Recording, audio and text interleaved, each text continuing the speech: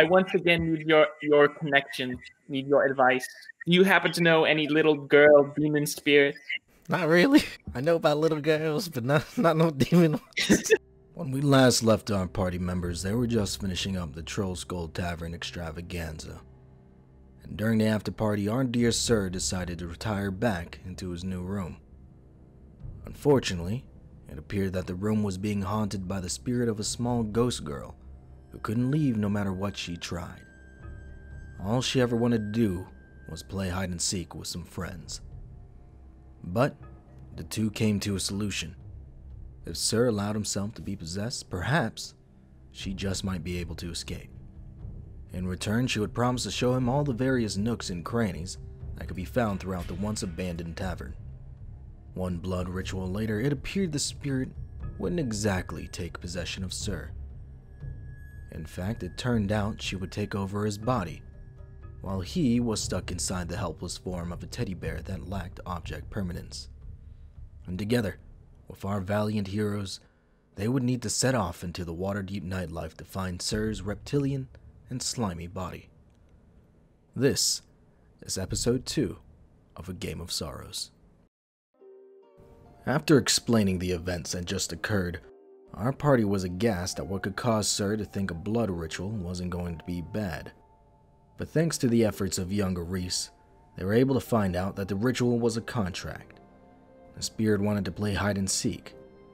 If they were able to find her by morning, then the contract would have been deemed successful, and Sir would have been able to regain his original body.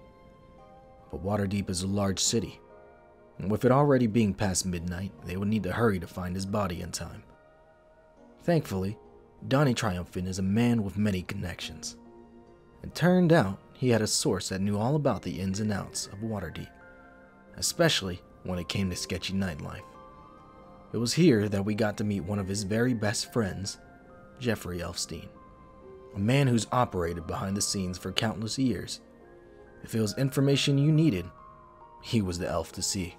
Donnie, why would you be responsible for, for Sir making a horrible deal? Jeffrey uh, Elfstein set up the acquaintances. Hey, Donnie, Donnie, Donnie, you gotta listen to me. I didn't do none of that. I didn't do anything like that. Just don't listen to him. He's a fucking bear. What are you gonna do to a fucking bear? Fucking bear's not gonna tell you the truth. I'd love to meet some demon ones though. it would be do very well for my for my business. I don't know if Jeffrey's Wait. a master at locating demons. Unfortunately, it appeared that Elfstein wasn't going to be much help in this scenario. But luckily for the party, they previously had met a certain detective that was quite good at sniffing out missing people. Vincent Trench, owner of the Tiger Eye Detective Agency, was a man that might know where to start. Uh, hello, Mr. Trench. I've been seeing y'all a lot in the past four or five hours. What are y'all doing around here? Well, it would seem that this teddy bear is the vessel of a moron. He made a deal with a demon child and gave her his body, and now we can't. Now we need your help finding the demon child. You see, that's easy for the amazing Vincent Trench. Of course, I can do something like that for you. Ignore the fact that I've changed accents because I don't remember the last accent that he did. He was a 1950s like uh, detective. Now he's just like just like a friendly black guy. I don't know. and as such, Trench agreed to assist in the search. Though, in typical D&D fashion, the party would not do so unless they were offered some sort of compensation for assisting their scaled friend. So it's gonna take us 25 gold to bail out Sir here, basically. So I was just gonna say, how about we uh we offer to bail Sir out for his share of the tavern? That sounds like a yep. tremendous idea. That sounds like the best trade deal Eventually, their travels would take them to the red light district. And there's bright, kind of neon lights that are kind of filled with like magic energy. XXX, women and men of different races and species inside of the windows advertising their bodies. I'm very I'm very popular among you people, as you know. You people? Get along very, very well. He holds up a wand to you. he turns the wand sideways. He gets a little, a little sweaty, a little sweaty. Feels it feels the grip on his testicles from the magic hand. I change into my pimp outfit real quick, uh, Kane included, and I just start beating up any hooker I see, just any single one. Doesn't matter. Is that what you want to do? no, hush, hush. But uh, that's not a turtle man. Actually, it's a child. You know, Child. you could get in trouble if I find out a child is in here. I mean, unless unless you cooperated. I mean, you couldn't know. After all, it is a giant turtle man. Okay, um, well, I, I, I, I'd hate for anything like that to happen, of course. We wouldn't want anything to endanger children here. I do believe there was uh, something like a, a turtle that came in. Here's my number. I work at the, the Troll Skull Manor. If you ever want to hit me up, a Reese. Keep me in mind, baby. And she gives you a little pat on your half elven booty. Melanisa Canavia. Melanisa, feel free to drop by Troll Skull Manor, but for now I can only give you this silver ring as a token of my love. As, a, as you promise yourself to me and me alone. She grabs the ring seductively.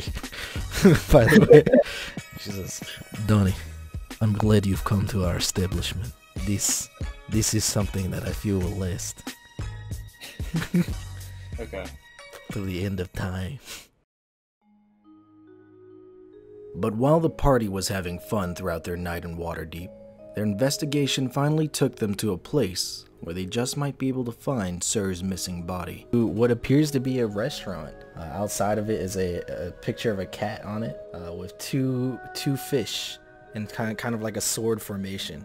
It's called the Frisky Fish. As you walk inside, uh, you see a large grill out in front of you, and you see what appears to be a, a large cat man. He's got a giant hat on and a like a giant like one of those hibachi hats on, and he has a, a name tag that says Tibbles.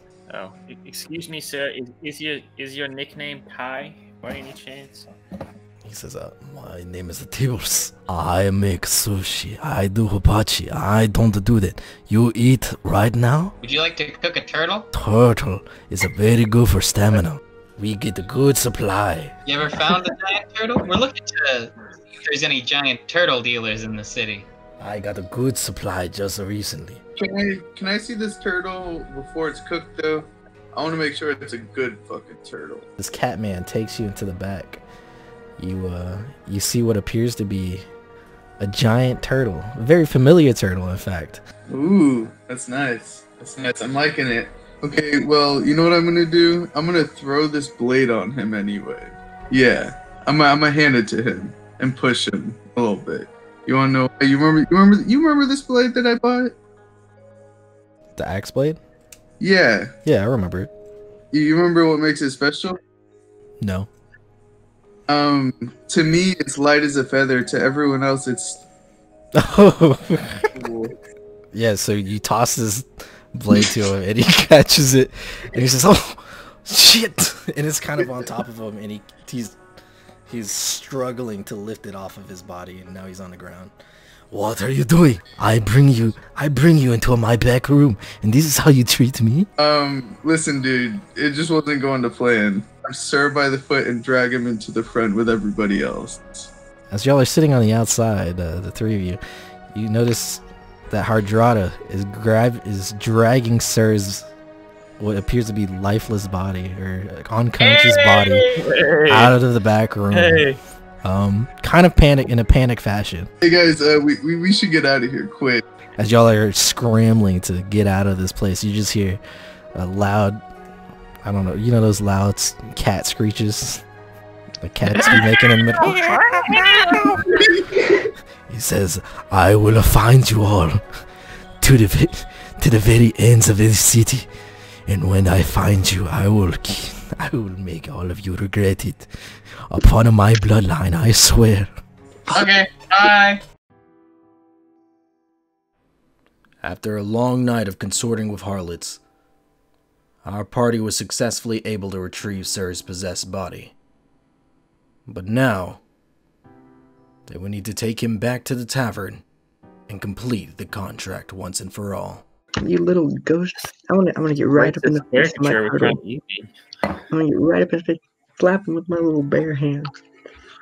Ah, stop, stop! What, what, what you trying to pull on me? Who do you think you are? Running away like that, cheating me out on my body? What do you mean? That was our deal. We were supposed to play hide and seek. Sir mentioned some compartments. Yeah, I won. I caught you. I found you. Now, give me, give me your end of the deal. Show us You've done it. all. the hidden compartments and give You've me my body completed- back. You've completed my contract. I'm so happy. I'm finally free from this place. As lights start to expunge just all over Sir's body, he says, Thank you. Thank you, kind man, for freeing me. I'm so glad. Where are the compartments, you head ass? She, you see, you see, you see what appears to be a little girl, a little, a little dwarf girl in the sky, a spiritual body. There's shining lights, and there's a giant golden light, and she's floating away. She says, "She says thanks." She says, "Thank you, you kind, kind adventurers. I wish you so much luck." Where are the compartments? All the compartments, the compartments, the compartments are in, and she disappears. She pops out of existence. Well, sir, Wait, I could I- you're happy with yourself. And as you see this happen, the uh, the spirit from the bear just kind of comes out into a giant force of light, and it forces itself back into Sir. And Sir is now his original self, and there's only a lifeless bear on the ground. Now, uh, let's all head. Let's all hit the sack. You know, let's. We can leave Yeah. Sir right here for the night, and uh, just go to bed. yeah. So yeah, that's that's what happened in the second recording of A Game of Sorrows. Some other stuff happened too, but more like the party buying a bunch of shit that doesn't really matter too much. Anyways, feel free to subscribe if you want to see episode 3, which will be coming out next week. On another note, I've realized that only covering one session of video negates me trying to get rid of all this footage, considering we play only one session a week anyways. So, that's nice. Later.